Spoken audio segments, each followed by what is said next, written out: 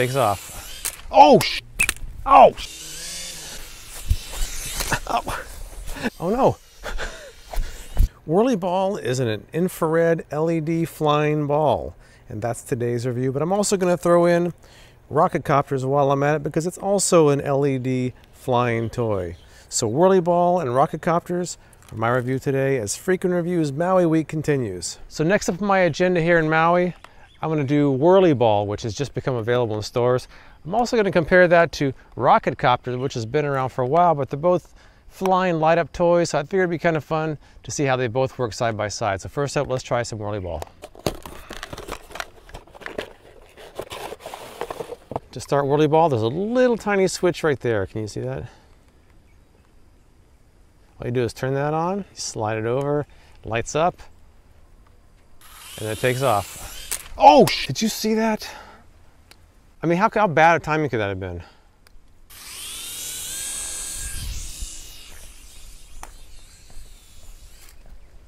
Okay.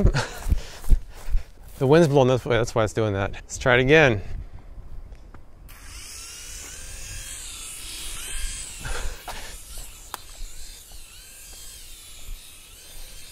It's not really working the way I thought. In indoors, it works a lot differently.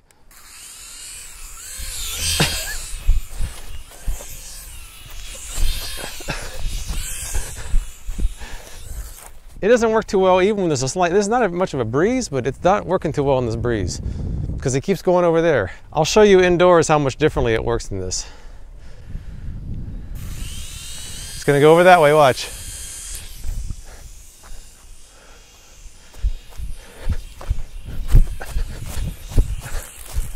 Might be better indoors. There's, there's a breeze. Okay.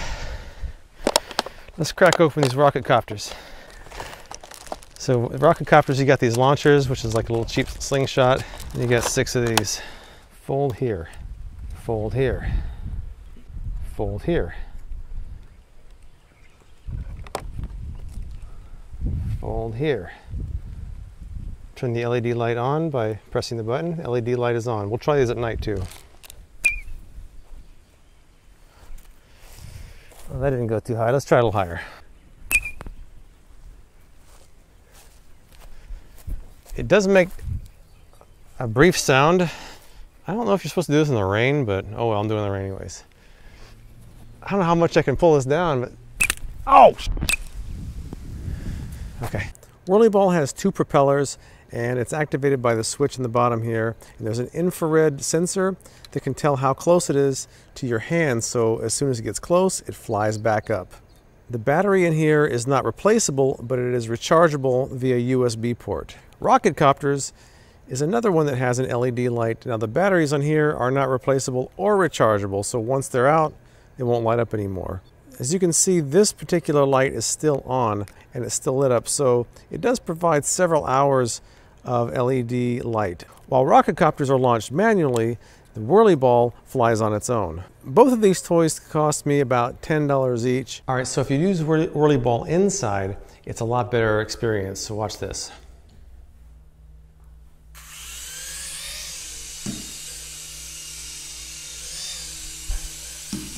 Whoa. See, it can, it can detect when there's something underneath it. And I've noticed that the stronger the battery charge, the more sensitive it is.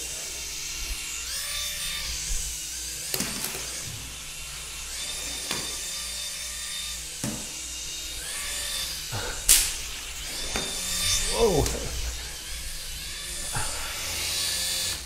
See, when, when the battery isn't fully charged, it's, it'll almost touch your hand, but when the more the battery's charged, the further away it stays. Let's try that again.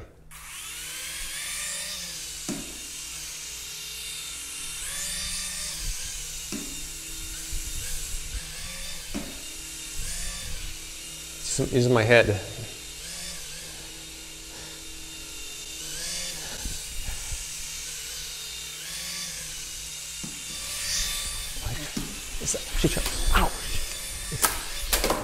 Ah, see when it, when it hits something, it detects that and shuts off and it blinks like that. All you do is turn it off, turn it back on, and you're ready to go.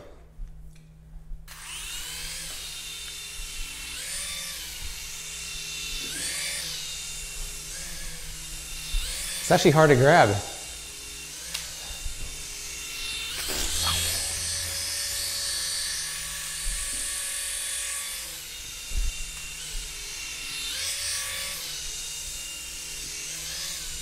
Think the battery lasts about about eight minutes before you have to recharge it again. It takes about uh, maybe 15, 20 minutes to recharge it. And I can't get to it.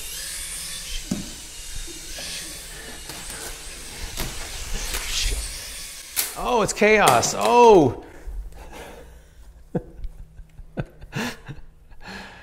Sometimes it's hard to catch it when it's flying around like that. So that's actually kind of makes it fun.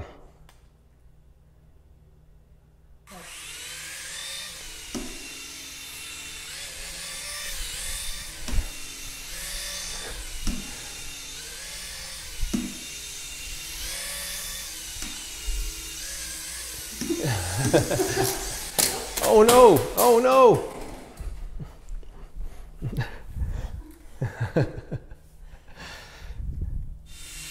it is pretty cool.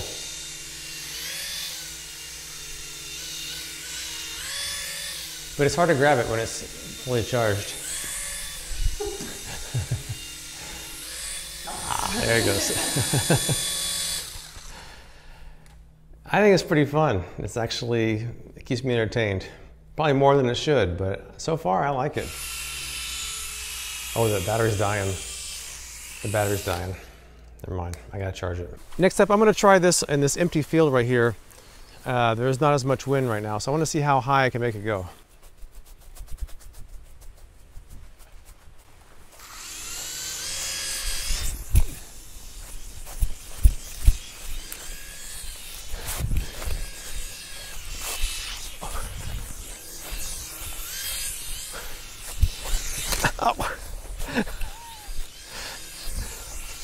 Ah, I got you. That was pretty good. Worked pretty well. We're out here in the absolute boonies. There's nothing as far as you can see. It's pitch black. So I'm gonna shoot off some of these rocket copters and see how they look out here. I got my atomic beam headlight to help us see, but right now it's going off. We'll see how it goes. Actually, maybe we'll leave it back on. All right. Oh, come on. Oh, that was a bust. Kind of cool. I'll try to pull it further. I'm afraid I'm going to break this, but let me see. I'll pull it back even further.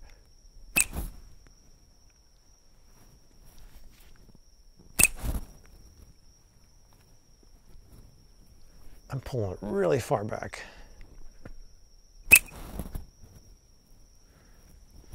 Let's try the uh, whirly ball. Now there's no wind. It's pitch black out here.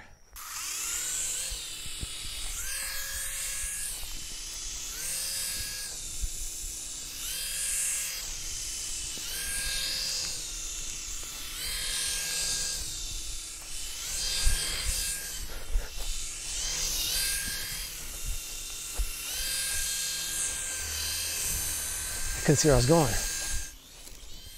Oh no. Ow. Ah. Wow. It gets away from you. I'm gonna try a few more rocket copters now.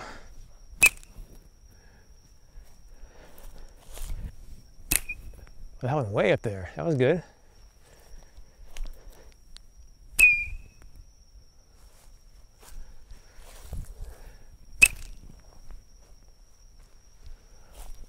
I'm gonna do it past you, okay? Uh, okay. Oh, I caught it. How cool was that? That's good. That was good.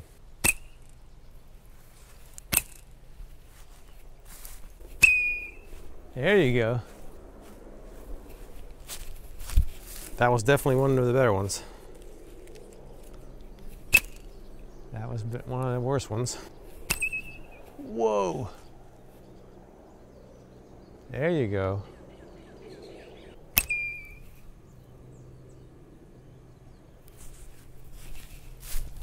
There's definitely something of a technique to doing this properly because the more I do it, the more I'm able to launch it really high in the air.